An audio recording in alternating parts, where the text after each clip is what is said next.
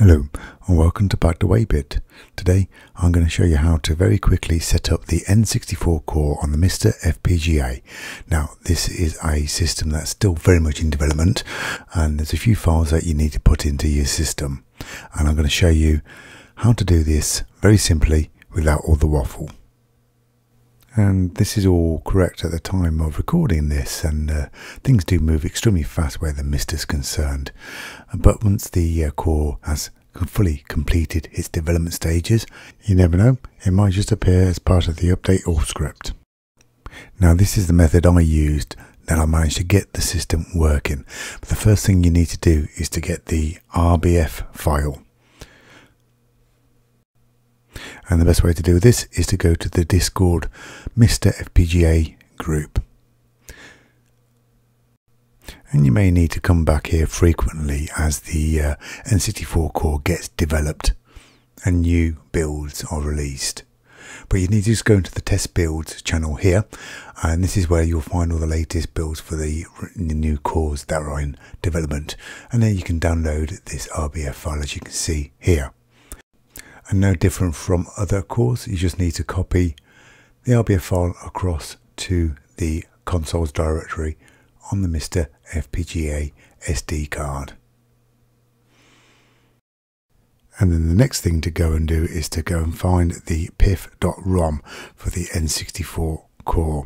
This is probably one of the most difficult parts to do, but a quick Google search will help you find out. Unfortunately, I can't give you the link for this.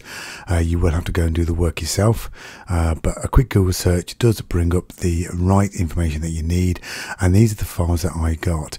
These three files came in one zip file, which I downloaded, and this is how I got mine to work, which is a little different from some of the other tutorials that I've seen. Right, the next thing to do is to go to your MiSTer SD card and go to your games directory and create a folder called N64 as you see here. And this is where you transfer the PIF files across now I did transfer all these three files across to the N64 file.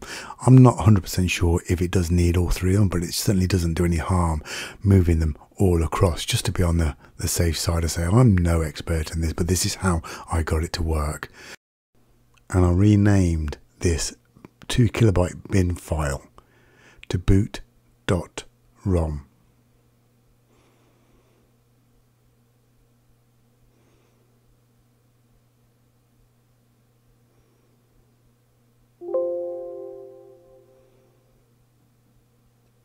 and then copied all three files across to the N64 folder in the games directory. As I said, I don't know if it does need all these three files, but uh, after doing a bit of experimenting, this is what worked for me, and it does no harm. And the next thing to go and do is test it out. Uh, there it is, there's the N64 core, and I'll load that up and I'll quickly skip through the database and pick out a game and we'll try and load Wave Race. Now I do know there are quite a few games that still won't work with this so you do have to play around and try and find the games that will work but I'm sure as this core gets developed more and more games will become compatible. That's it from me. Hope you enjoyed that. Take care. Goodbye.